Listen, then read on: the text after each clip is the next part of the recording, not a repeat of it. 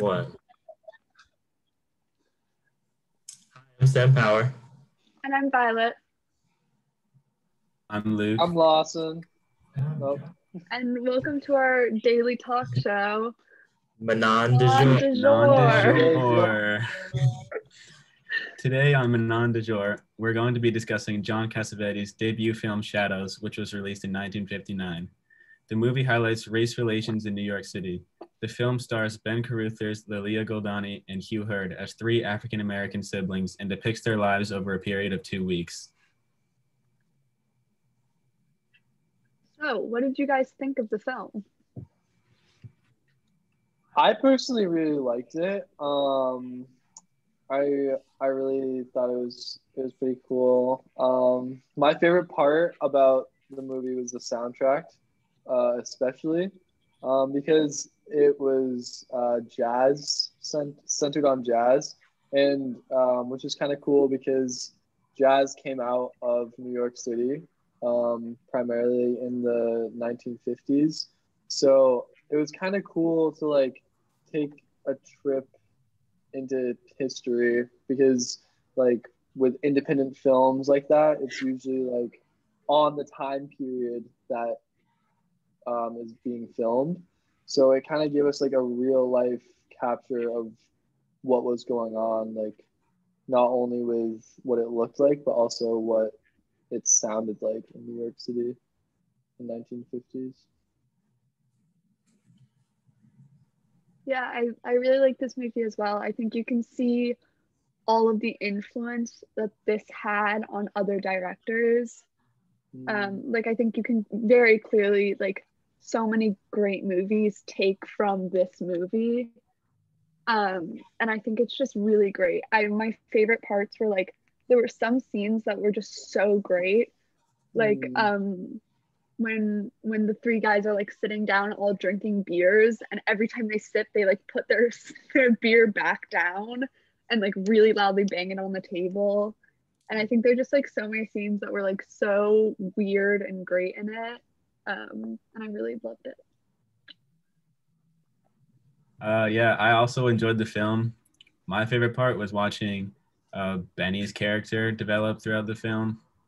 Um, he started out as like sort of like a beat guy, just trying to like pick up chicks in in bars and restaurants, and he ended up paying for it, getting beat up at the end of the film, and he kind of like changed his ways I don't know. That was my favorite part.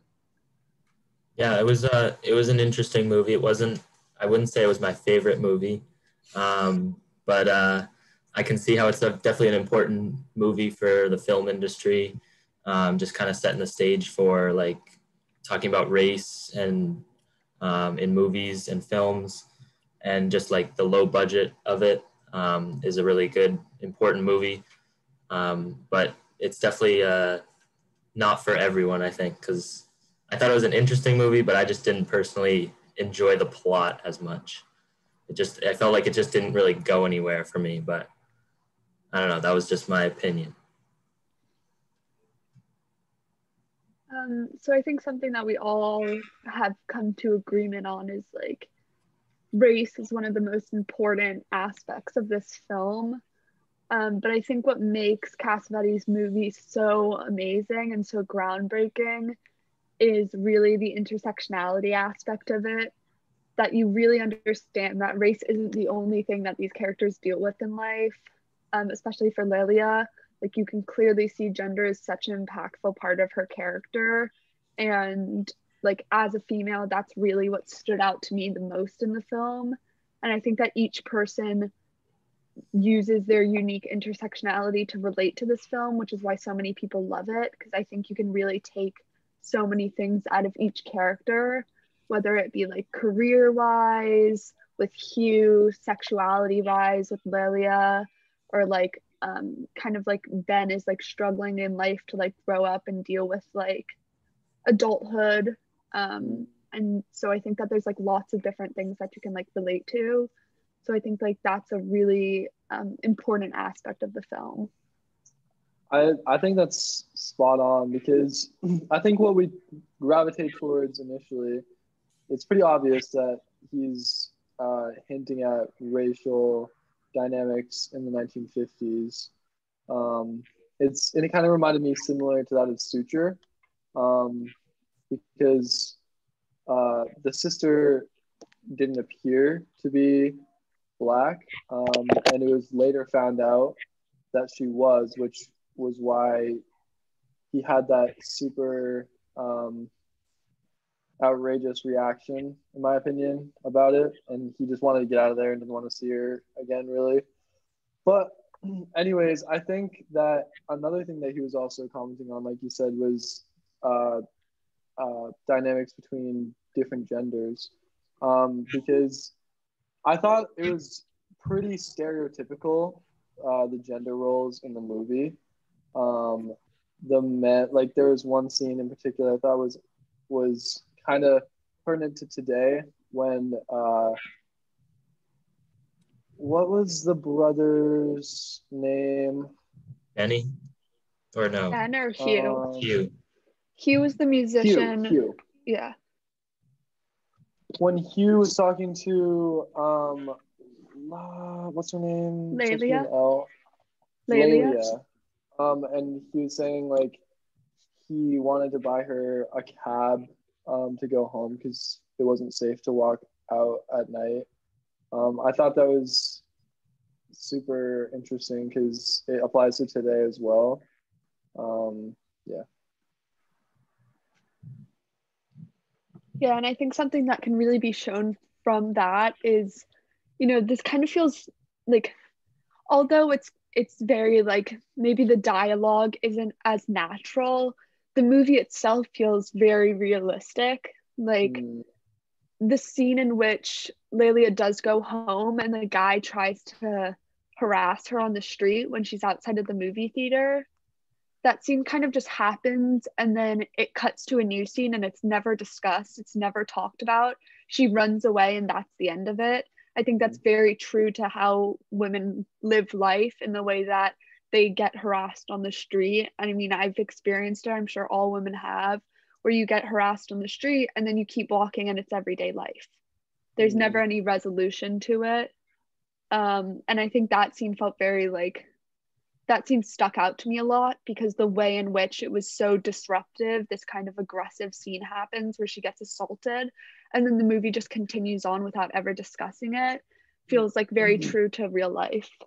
Mhm. mm, Yeah, one thing in this movie um, that I kind of took away from it was just I thought it was really important the parallels between like racial identity like then in the 50s and now and they're still very similar like this movie's still like even though it's really old it still speaks like volumes with like racial identity like issues in the present like with Benny for example just how he was like always struggling he was hanging out with a lot of white people and he almost tried to act like white and so did um what was it Lay- Layla I can never say Yeah, yeah. Lelia.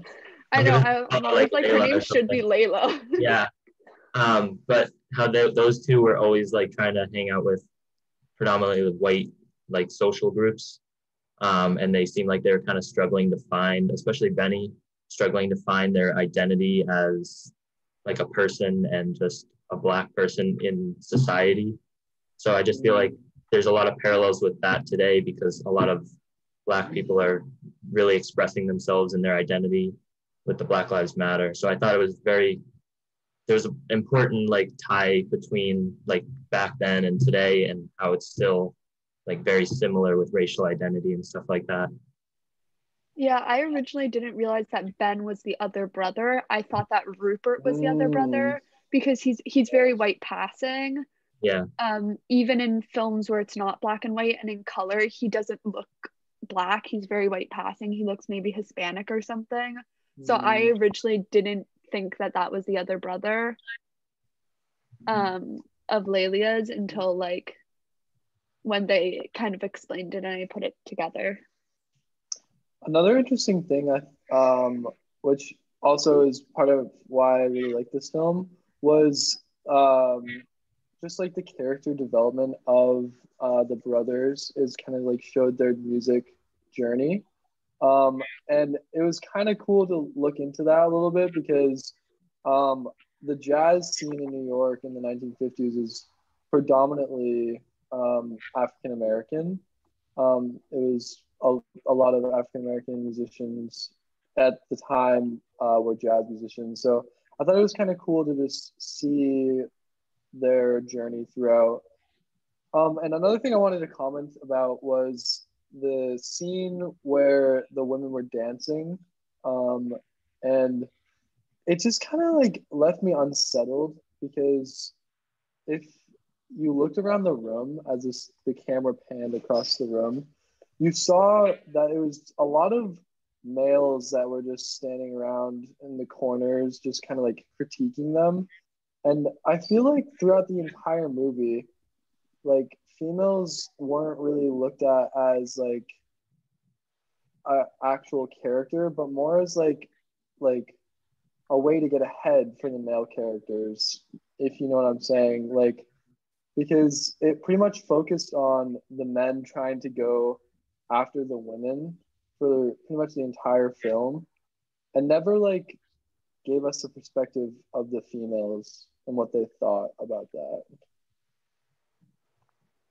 Yeah, there's there's one scene where Lelia says like I forget what it was. I should have written down the quote. She says something about like um she's oh the two guys are fighting over who's going to take her home mm. and she says like actually I'm going to take myself home and I think that Lelia's whole journey is not necessarily about the men in her life, mm. but more about her discovering the fact that she has power over men.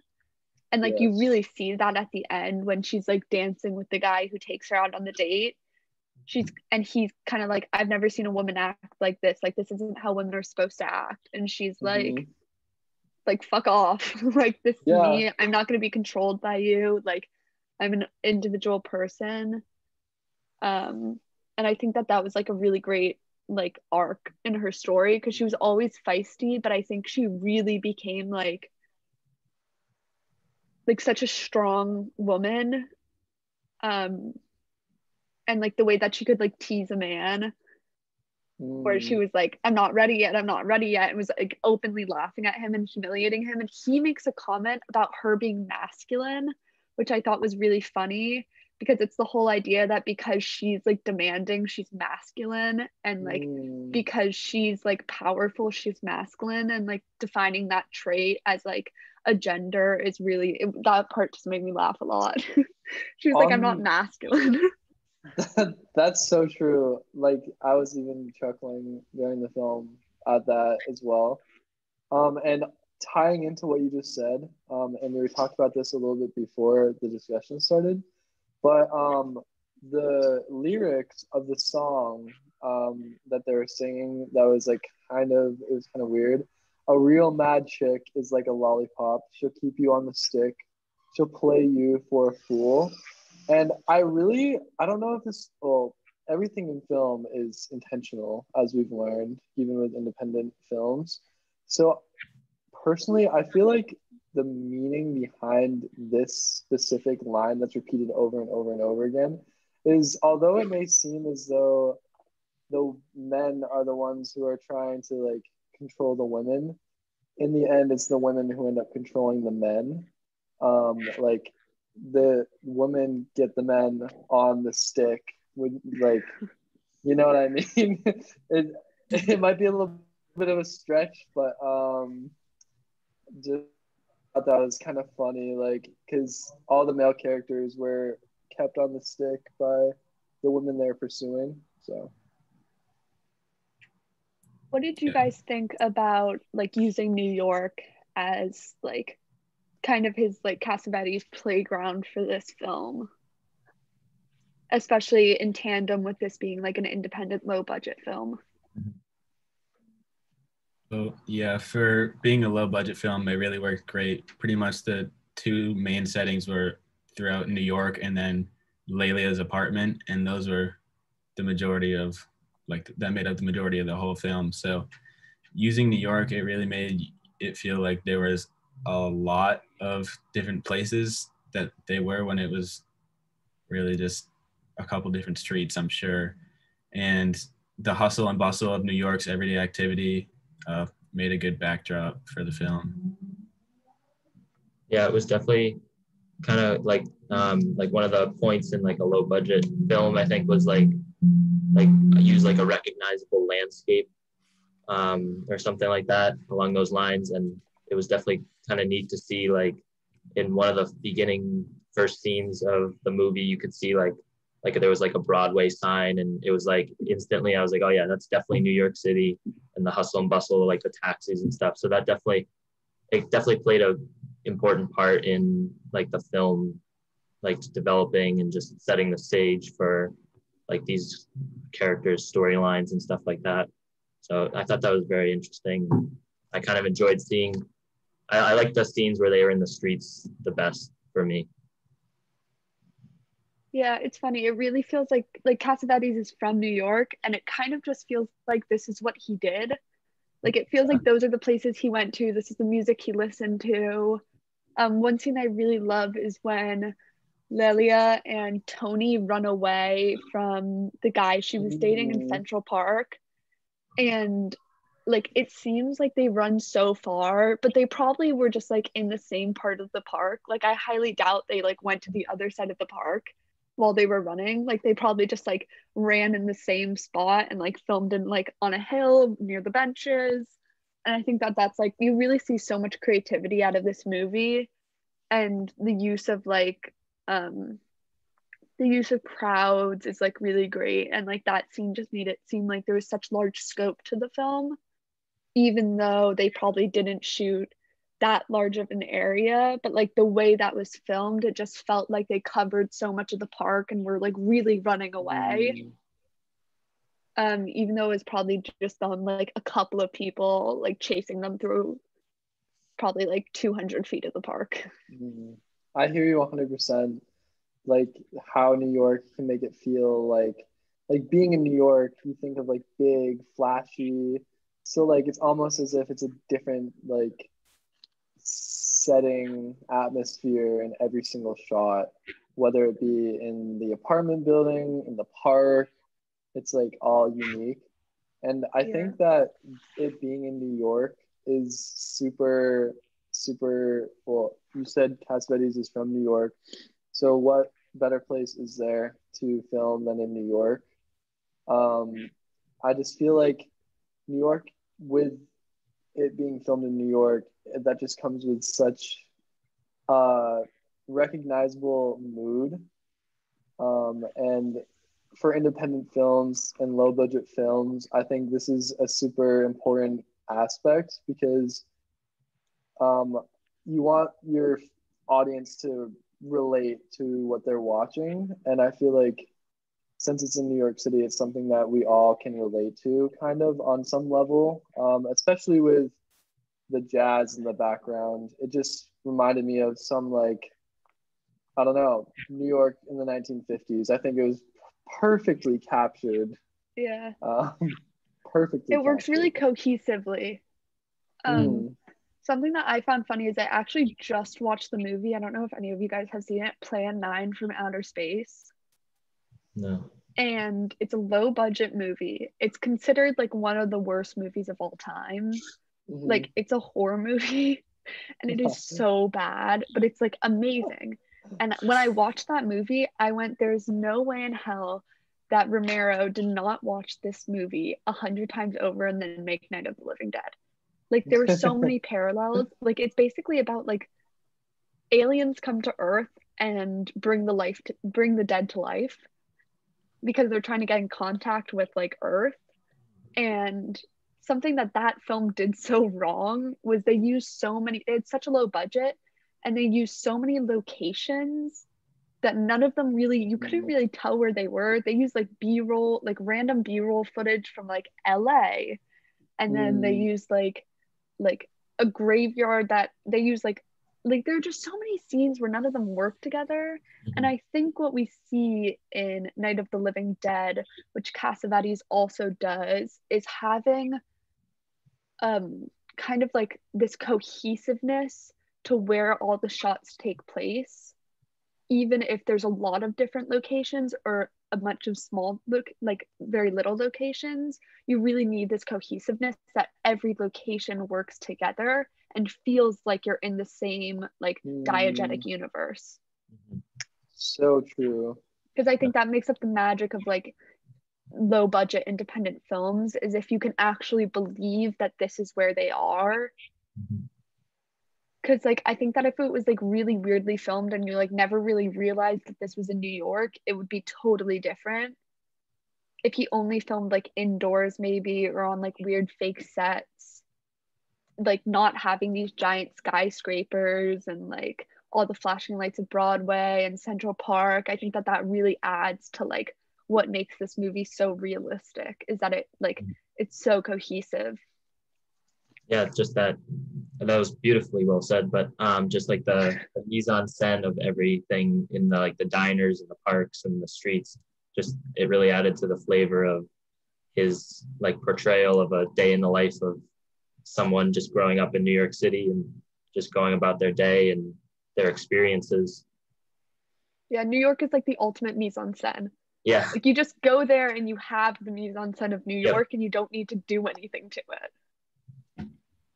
I say this as a New Yorker, so um what part of New York are you We- from? I live in Manhattan. Okay. Yeah. Um so I think this brings us to our time for a fun fact. Today's fun fact on Manon du jour is that actor Anthony Ray, who plays Tony's famous father, is Nicholas Ray, best known for his movie Rebel Without a Cause. And the very fun fact of this, which is actually a very, very sad fact, is Anthony ended up having an affair with his father's wife, his stepmother, uh, Gloria Grahame, and ended up marrying her a couple years after his father divorced her. so that's our fun fact for um, this show's uh, today. And There's also a very large age gap between his son and his ex-wife. yes. um, it reminds me of some other uh, famous directors we know who marry their uh, their children. Looking at you, Woody Allen. Um, okay, so let's get back into the show. um, one of my favorite scenes was um, the sex scene between Lelia and Tony. I have some quotes picked out that um, I think maybe if I read them, we can just all like dissect them because I think they're like really great. Um, so after they have sex and she loses her virginity, she says, I was so frightened. I kept saying to myself, You mustn't cry. If you love a man, you shouldn't be so frightened. And then he responds saying, It's only natural. There isn't a girl in the world that wouldn't feel that same way. And I think that every single line carries such an important thing.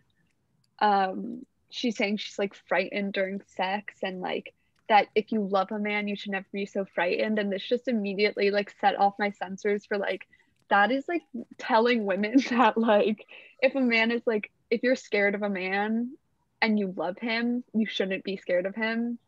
So like if you're in an abusive relationship and you love a man like you shouldn't be frightened of him. Um and then him saying that it's natural that every girl should like feel fear when she has sex was like insane to me. And i think like this scene was just like so great That was shocking. I was uncomfortable for the scene as well because like there was also she was saying like don't touch me like don't touch me and then he kept touching her and I was like and it was just like I don't know it just it was confusing to me I I didn't understand like what I don't know. It's probably because I'm not a female. Like I don't under well well I couldn't relate to the male either. I was like, why are you doing this? She's saying don't touch her. She's saying she's scared of you. Just let her go home. Why are you still like following her into her house? It didn't make sense to me at all. Yeah, I think that it really like frustrated me. It's really kind of poignant about the fact that like he clearly has like no idea on how it should be for a woman. Like, and I Mm. think that's kind of shown throughout. There's another point that I'm sure we'll discuss that later on about when it kind of blows up with him, where they find out that, where he finds out that she's black and has black brothers. Mhm. And um, I think that him saying it's only natural, there isn't a girl in the world that should that wouldn't feel the same way, kind of points out how much of an idiot he is, thinking Yeah. that like every woman should have pain during sex and should be frightened during it. And I think that this is a really like realistic scenario for women, especially like women who are told that like um, all of these things about sex and are sexually repressed and um, telling women that they sh- that like this man telling her that she should be frightened and it's natural like kind of as like a woman who's grown up learning exactly the opposite um as i've like been so lucky and privileged to i think that this is just such like a great scene and a lot of this movie is isn't scripted and a lot of it was just them doing it themselves and like Mm, um, freestyling the whole thing. So this just makes me really interested whether like what if this is scripted.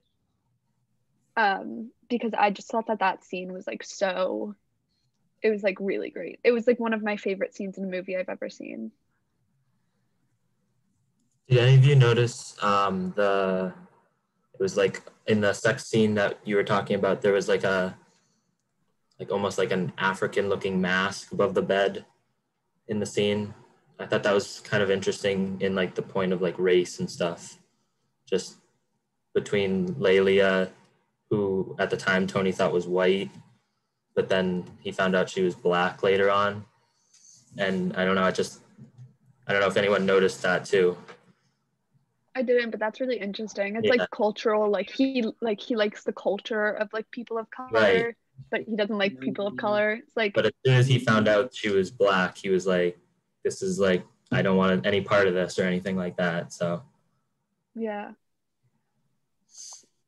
Um, there's another line that really stuck out to me, which was when Tony comes back to the house after being kicked out and tells Ben to tell Lelia, I realize there's no difference between us. And I think it really like it's such a subtle line and like no one in the movie says anything about it afterwards. Like no one's like, "Oh my god, look at what he just said." Like there's no difference between us and I think like all of these things are like really subtle. Like the race like when when hugh and tony get into the fight neither of them say a single thing about being black about race about being racist. Like none of them say anything when they get in that fight. Um it's not until later that hugh says i don't want you dating a racist or whatever he says. And i think that it just shows like tony's ignorance and also just like white people's ignorance in general saying like i realize there's no difference between us and it's kind of like um race erasure erase er, yeah um him saying that like Lelia doesn't have like there's no difference between them um denies Lelia of any hardship that she goes through from being black. Because by him saying there's no difference of me a white man and you a black woman it kind of everything about her intersectional personality uh, like who she is as a person being black being a woman having black siblings it, being raised in a black household possibly um, all gets erased. And it's kind of just like you're just like me and it doesn't matter what hardships you've been through. And so i think those are like really subtle things that the movie does that are like so realistic yet they don't like play into it too much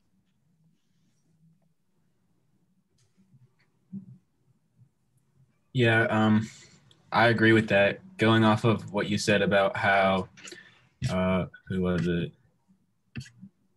Uh, Tony comes back and is like, "Yeah, there's no difference between us," and then that message just never even gets relayed to Lelia. It just shows like there wasn't a lot of resolution in the movie.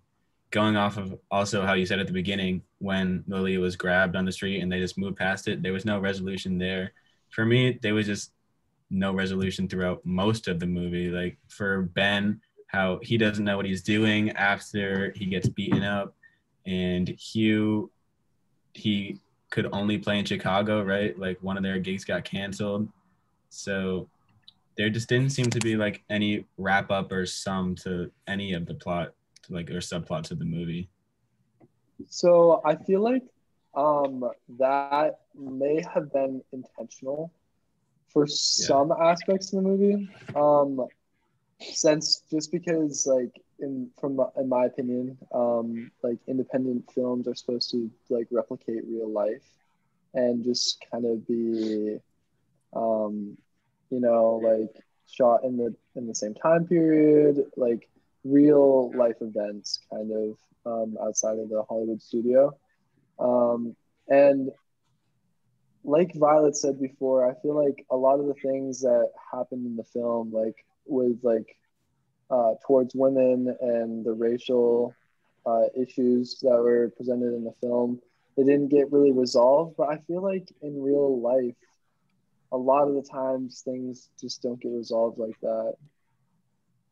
And but which is really good in 2020. We're working towards resolving these issues, and we're finally calling them out. And in the 1950s, it was clear that these issues were not being addressed, and there was it was clear that people were on the stronger side of racism as in opposition to it.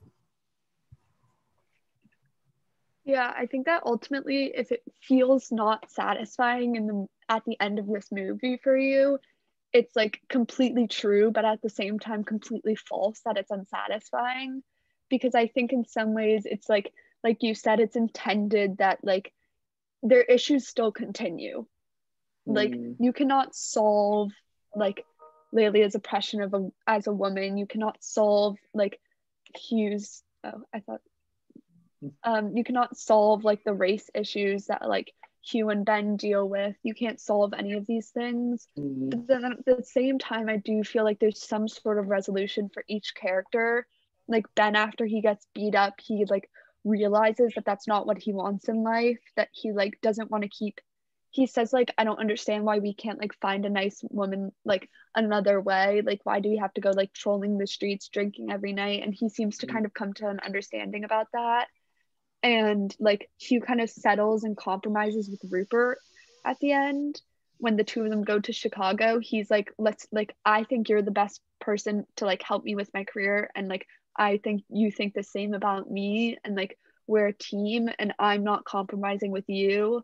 And so like let's go to Chicago and let's do it. And like their relationship kind of like comes to the standpoint when they're in that station and it has like an ultimately a good resolution that the two of them kind of strengthen their relationship and like continue on with their lives and continue on with this career path that the two of them have chosen. And then Lelia like we said comes to this resolution that she's like a very strong woman. Like she comes to understand that like she doesn't need to be pushed around. She doesn't need to follow what other women follow or are like told to follow in life and that she can do things her own way and it still makes her just as much of a woman and in fact even like a stronger one by doing so. Yeah i think that was just that's a really good point. I think the whole just leaving it kind of unfulfilled at the end was part of what it like bothered me in this movie in some ways because i just felt like it there should be uh um, an ending to the stories more, like more resolution. But um, I kind of see the intentional side of it.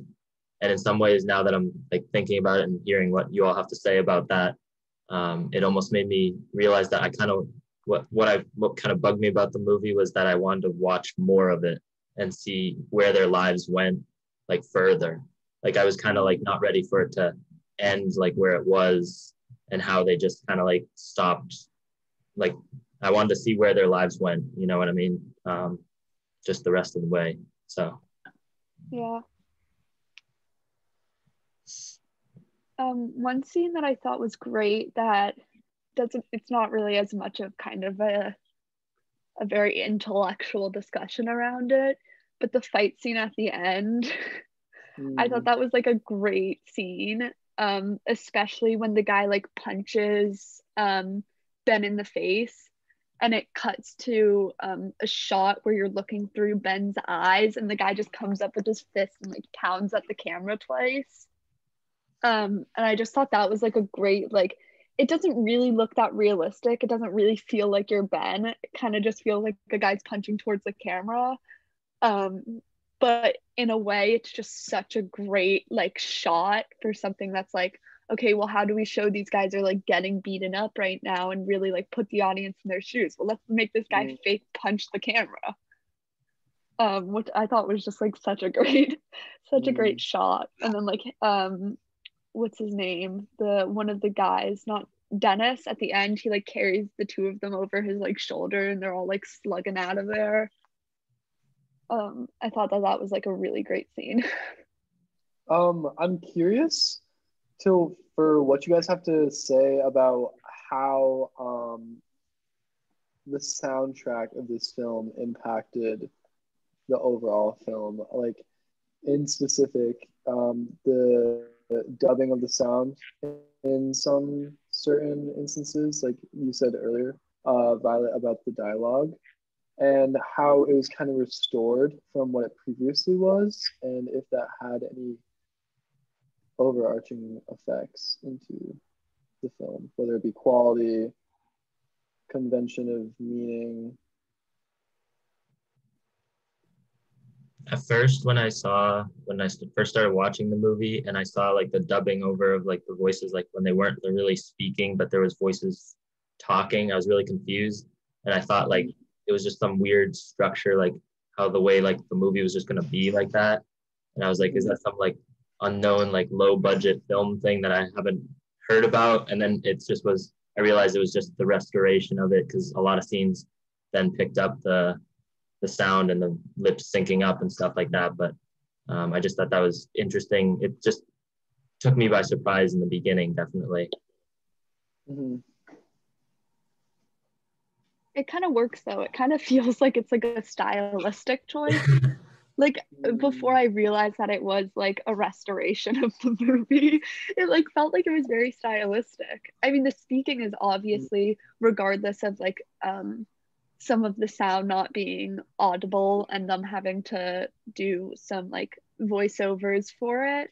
Like the speaking choice is like very specific to Cassavetes in this movie um and i think that definitely like when i watched this movie was like so indicative of scorsese scorsese and how his characters talk. And like at first i was like oh my god this is like cassavetes is doing it like scorsese.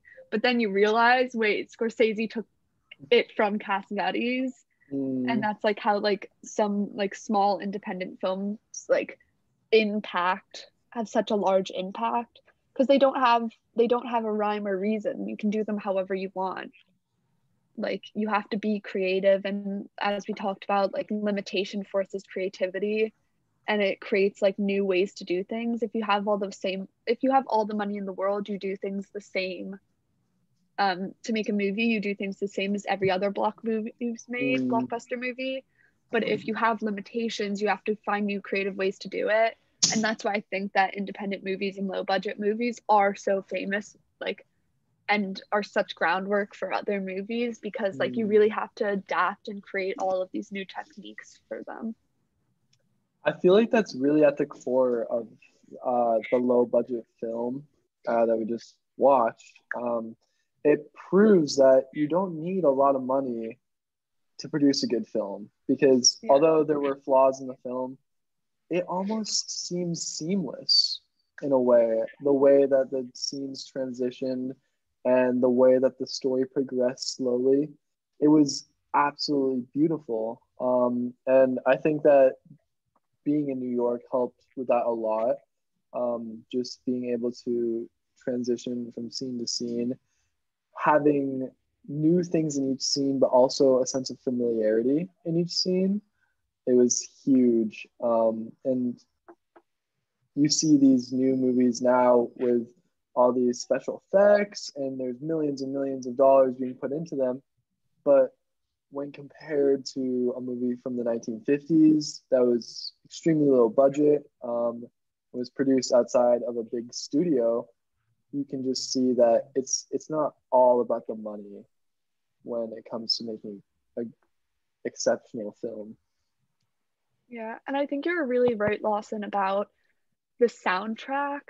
Like this jazz music really adds to the whole movie as a whole. I think that without the jazz, this movie would be severely lacking because it's kind of the sense of like this free flowing jazz music, this very like funky beat that like there's no um there's no lyrics to it. It's just kind of this free flowing, very like swinging music that's like very chillaxing, I guess is the Mm. vibe of it. And I think that adds to the movie kind of being free flowing. It's not really that structured, it's very loose. And that's, I think, the music just works perfectly in tandem with that. And like when I hear the music of it, it just works so well with the movie and with all of the characters. yeah the uh the soundtrack of like the i guess is kind of almost like the score the jazz was but um it almost seemed like in some uh scenes like where you're on the street of new york city and the jazz is playing that it would just be like you just be walking Mm. down the street in 1950 and you just hear jazz coming out of clubs and like doors and stuff. So it really added to the sense of like just being in new york city and i thought that was pretty cool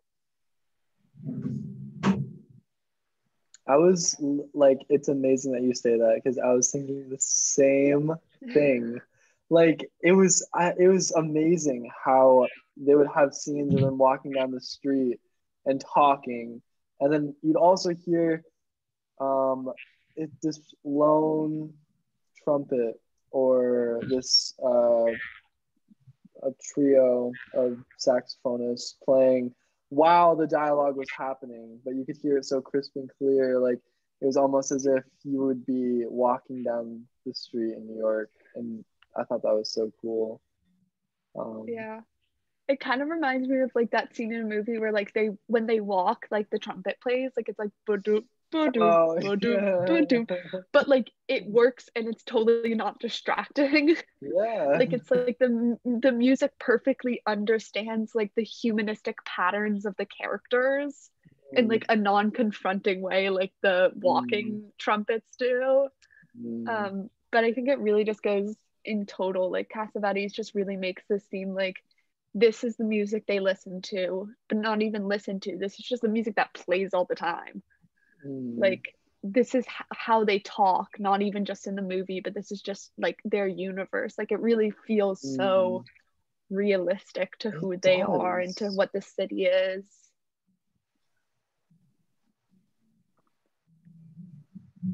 So, do we have any last closing statements before we finish off? Has anyone's opinion changed or like come to a new understanding?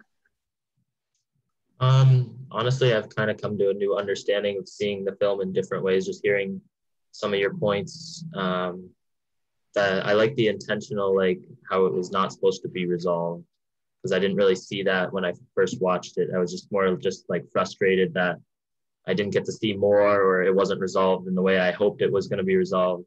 But I kind of see the intentional aspect of that. So I kind of like hearing that point, and that definitely helped me understand the movie and and like what Cassavetes was going for a little bit more in the low budget film. So I definitely liked going over that in this discussion. Yeah, I think this is a really difficult movie. Like we had already talked about it in class, but this movie definitely is way more subtle and way more kind of confronting um, than some of the other movies we watched. And I think that like discussing it, it really like made me enjoy the movie way more because I kind of Totally. like talking about the things I thought about, hearing the things you guys thought about, kind of deepened my understanding of it. And like as I talked and as we discussed, I kind of like understood the characters more. I understood like what Cassavetes wanted us to see from this more. Um, so I really think like this is the type of movie and like sh- and like independent films are the type of movie where like directors want you to go and talk afterwards. They want you to like discuss what you've seen and like have difference of opinions and like come to conclusions about society. that aren't like forced to to you but kind of like that you draw from yourself